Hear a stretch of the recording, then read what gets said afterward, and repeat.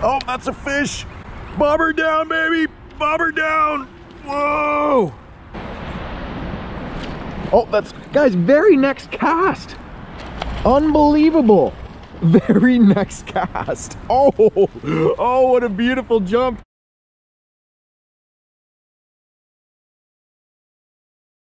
What is going on my friends? We are out on the kayak today and in this video I will show you guys how to catch salmon drifting eggs under a bobber. But first, let's take a quick look at how to make these guys.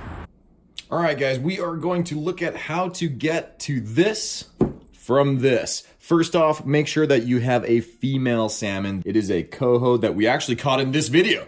How's that? That's some time travel weirdness right there. You're gonna see this guy or this girl caught here a little later in the video. So um, first things first, just go ahead. We're gonna do this really snappy because this is super simple. Curing eggs is not rocket science, okay? There's a lot of people that put a lot of voodoo behind this. Let's just cut the voodoo, get right into the action here, okay?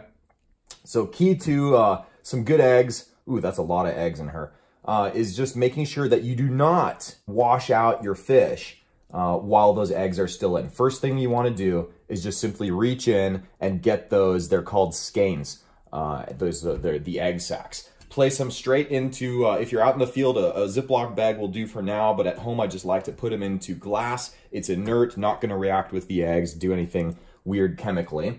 We're going to get rid of the salmon here. All right, to the good stuff. We got our eggs here. What we're gonna do first before we start anything is simply open up those uh, sacks a little bit. That, that's where we're gonna get our cure in. We wanna work that cure into the eggs. Just open that up a little bit. There we go. See that now? It's actually open. We're gonna do that with the uh, other one here as well. There we go, nice and open. Okay, all that we're gonna need, and we're gonna keep this super, super simple, okay, is just one uh, a, a nitrile glove. This stuff here has a lot of uh, coloring in it, and it can actually stain your hand. Let's just go ahead and start with the products that we're gonna use. Uh, I found this stuff on Amazon for you guys. It's just Fire Cure Pink, made by Pautzke. It's actually made in uh, Ellensburg, Washington. Woohoo, buying local. Uh, then here we're gonna use also some, also made by Pautzke. It's 100% pure krill powder.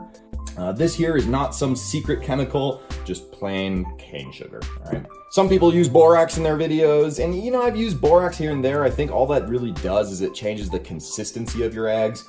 We're just gonna go ahead and start with our fire cure, and we're just simply gonna shake it right up into those eggs, get it all up in there. There we go. Nice. And then just simply very gently work it in. No science to it, all right? This is, again, guys, it's this simple. Look at that. Work it in. Boom, boom, boom, boom, boom. Do it quick. Don't waste any time. You got to get out fishing. Nothing to worry about. Flip it around real quick. Get some on the other side. Work it in. Flip it. That side's good. This one just a little bit more. Boom. Flip it around. Just make sure that all the surfaces are evenly coated. You don't want to douse it in it. Um, it's called uh, burning. You'll burn your eggs if you put too much on. Okay, what this stuff does is it's gonna extract a lot of the moisture out of the eggs and start firming them up, and you'll see that pretty much instantly. What we're gonna do next is just get some krill powder on there. Don't need a whole lot. There we go, just a nice gentle little sprinkle. Again, no formula, no exact measurements. And then all you're gonna do here is just gently, very gently massage that in there. Don't overthink it.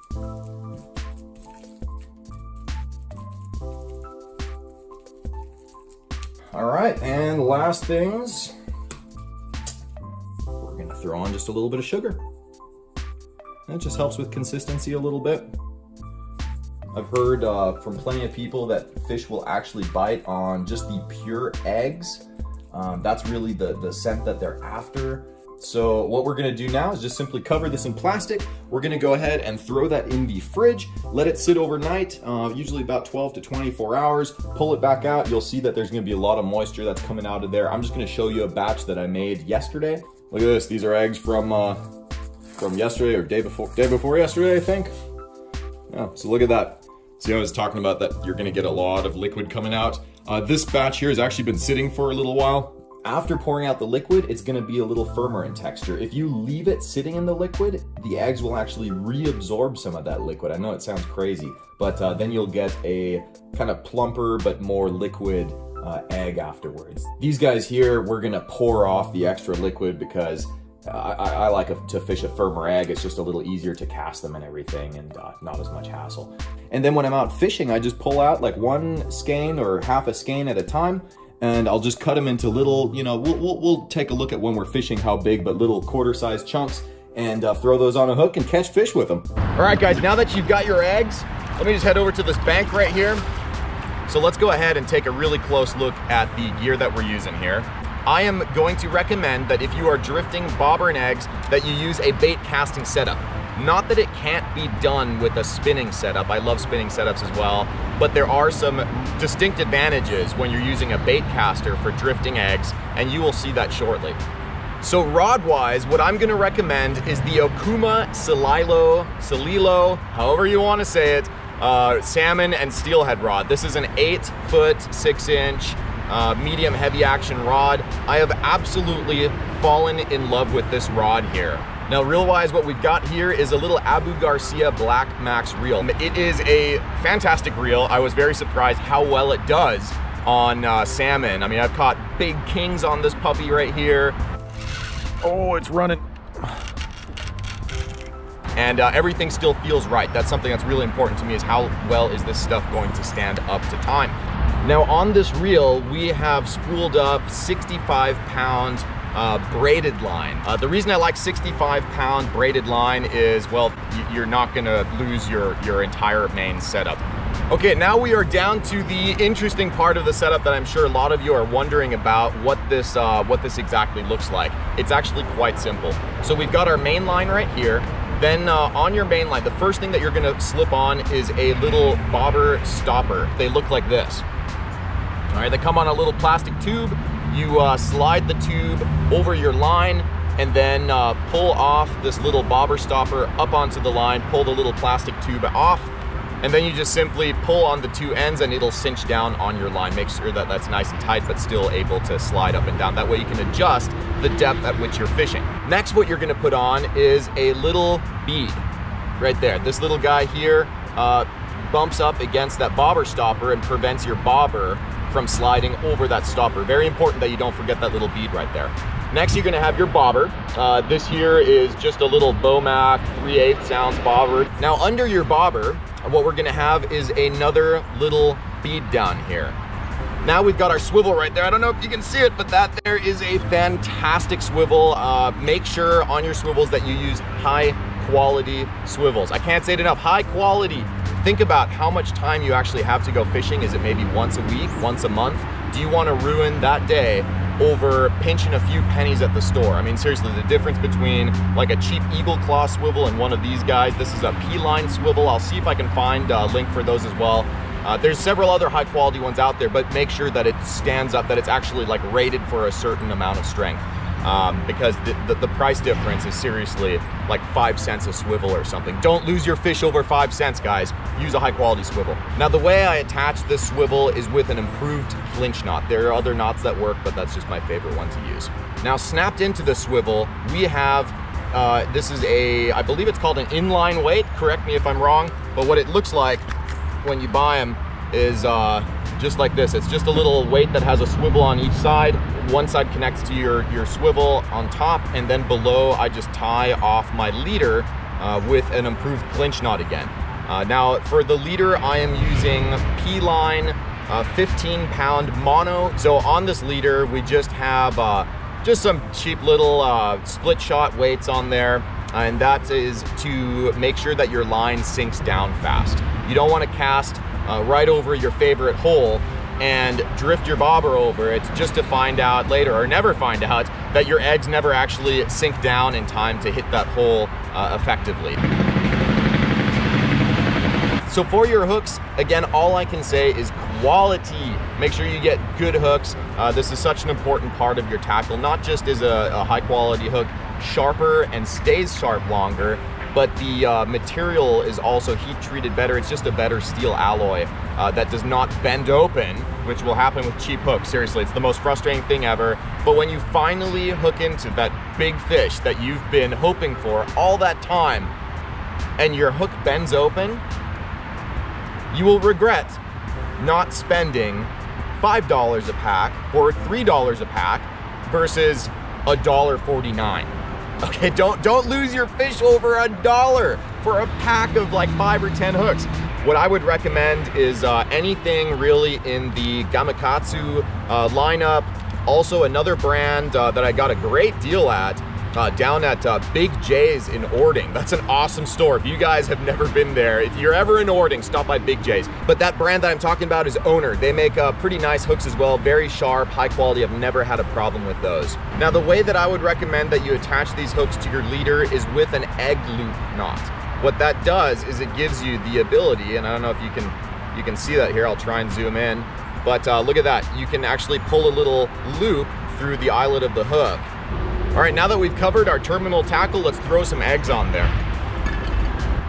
Now this is a pretty big cluster. Some people would say throw the whole thing on and you'll catch a big king salmon, but you know what? I've caught kings usually on sometimes the smallest clusters of eggs uh, that I've floated before. So what we're gonna do is part this size here into about three uh, little sections. I like dime to quarter size clusters of eggs. Now a lot of you have asked too, how long do the eggs last? Secret guys, these are not the eggs that we just cured earlier in the video. These eggs here are actually from last September. They are actually a year old. All right, to hook up these eggs, the first thing that I do is just put one of my fingers into that egg loop. You can see it's in there. Then I will take the eggs and just uh, just hook them on a couple couple times down there on the hook. And then we have this little back section that we're gonna pull up. Now with that finger, we're gonna throw that egg loop right around there, pull it tight a little bit, and look at that. Now the whole hook, except for the tip, is covered in eggs. That's exactly what we want. That way when the fish uh, gobble it up into their mouths, uh, that tip is still exposed for your hook set. Okay, now that we are all set up, let me show you guys how to fish this setup. Did you guys see that?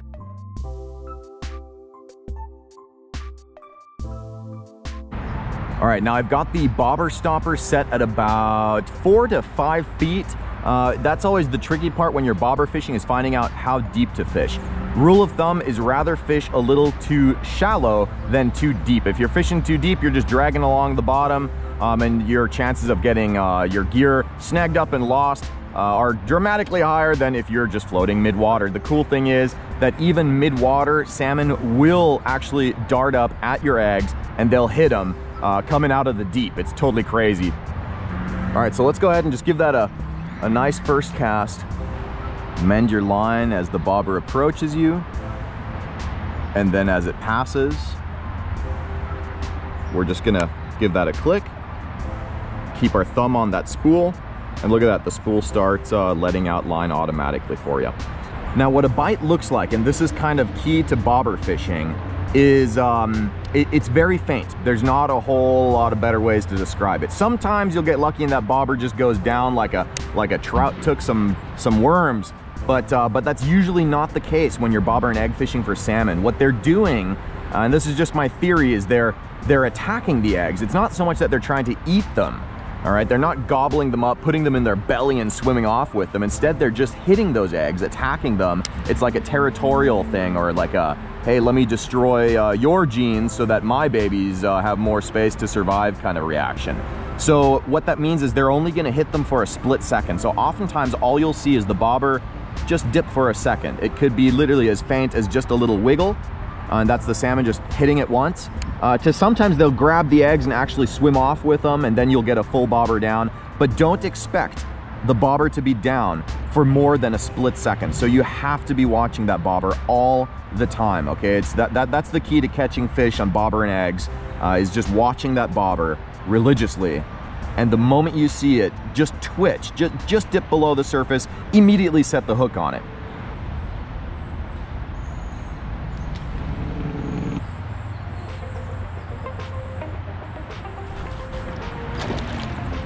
Oh, Wow, did you guys see that bobber go down?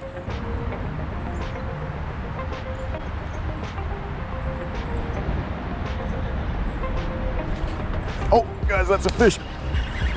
Look at that. See that bobber go down? It was really quick, but we set that hook immediately. Looks like a, ooh, a jack. All right, let's bring it over here. Oh, awesome. See guys, the patience pays off. Bobber and eggs absolutely works. Look at that, might be a Jack Coho. Look at that, let's go baby. Look at that, right up there in the lip. That uh, Coho, yep, that is absolutely a Jack Coho. Oh, look at him, he's still got a lot of fight in him. Let's get that hook out of him. Told you guys it can be done. Bobber and eggs, beautiful little that is uh, just totally spraying us with water here. That's a nice eating fish right there. So we're gonna try and see if maybe we can catch something else too. So far, we are doing pretty good.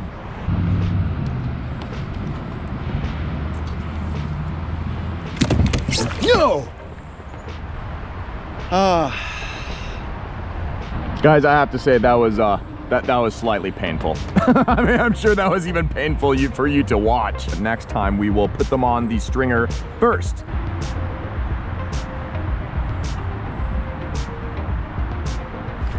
Oh, that's a fish. Bobber down, baby. Bobber down. Whoa. Oh, yeah that was not that long uh, after we just uh, unfortunately lost, well, released that last fish. oh, geez, peeling a little. Come here, come here. Thank you so much for taking those eggs. Oh, that looks like another coho, guys. That looks like a coho. Oh, come here, I'd really like a, like a coho. Don't go under the kayak, come on. Come on, come on, come on, easy.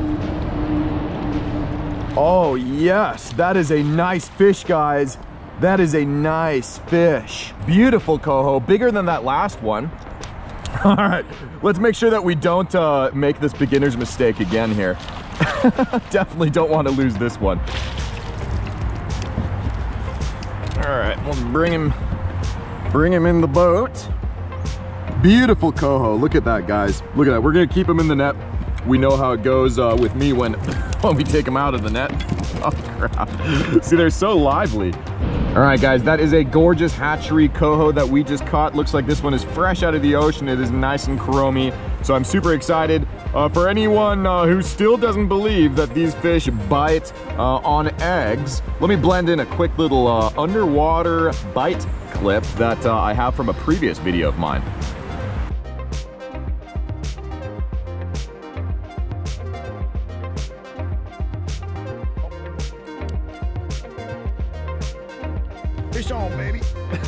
See that? They do bite uh, on eggs. It's pretty crazy, actually. This is by far my favorite way to catch these fish. So I actually am starting to specialize in doing more underwater uh, footage like that of bites. So uh, if you guys want, if you dig underwater bites, let me know in the uh, comments below if you want to see me do more of those. Also hit the subscribe button and ring the notification bell. Uh, that way you get notified when I come out with more videos. Uh, and that way, you know, you'll see those uh, future underwater bites of all sorts of different uh, fish species. It's something that I just really, really have enjoyed doing. So also smash the like button really good, guys. Give it a big old fat smash for me for finally not just catching, but also like retaining one of these fish. So we're gonna go ahead and bleed them and see if we can't catch another one.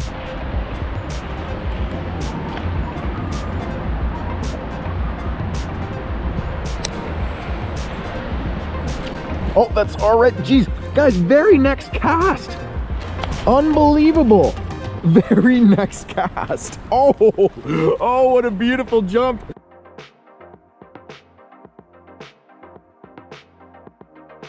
Guys, this is awesome. Wow. Come here, come here. That's nuts. Seriously, this is un... Uh, oh, and we lost him. Unedited that, that was seriously the very next cast uh, after catching this guy right here. How nuts is that? Tell you what, we're gonna we're gonna see if we can get like a, a three cast in a row hookup. All right, guys, the bite is off for me, but that is okay because we got us a beautiful coho that we are gonna take home. I will be uploading that video of the Chinook that I caught under the bridge over there, also on Bobber and Eggs. It's ripping. Oh, he's going downriver. Going downriver as well as uh, many other Washington fishing videos and uh, you know adventures tutorials. So if you guys want to join for all of that, go ahead and just hit the uh, subscribe button. There should be a little, it'll be in the end screen here in a second, as well as uh, down on the bottom right corner. And uh, then hit that notification bell. That way you'll get notified when those videos get uploaded. Also, if you want to see a little bit more, some stuff of what's going on behind the scenes and interact a little bit there, know what's coming out uh, episode-wise before everyone else, then follow me on Instagram. It's just NW Fishing Secrets. All right, guys, we will see you for the next adventure. Until then, peace out.